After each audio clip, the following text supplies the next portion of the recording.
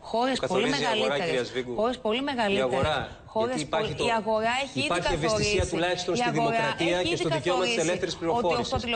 Εσεί λέτε ότι θα βάλουμε και το πλαφόν των εργασιακών θέσεων. Το πανελλαδική εμβέλεια άδεια. δεν γίνεται να μην υπάρχει πλαφόν, να απολυθούν οι εργαζόμενοι, να απολυθούν οι Δεν σας λέω αυτό, κυρία Σβίγκου. Δεν σας λέω αυτό. Η αγορά καθορίζει το πώς θέσει εργασίας θα υπάρχουν. Εσείς θα επιδοτήσετε. Μήπως εσείς θα επιδοτήσετε. Μήπως θα κάνετε κομματικά ρουσφέδια και εκεί, θα διορίσετε και εκεί του υπαλλήλου απελευθέρωση των ομαδικών απολύσεων παντού, την οποία εσείς. Συγχαρητήρια, συνεχίζετε στην ίδια λογική των ρουσφετιών. Συγχαρητήρια, αλλά εδώ δεν, έχει να κάνει, να πλαφών, εδώ δεν έχει να κάνει με κομματικούς φίλου. Έχει να κάνει με το δικαίωμα στην πληροφόρηση και στη δημοκρατία. Θα τα βρούμε μπροστά μας αυτά, κυρίε και Δεν είναι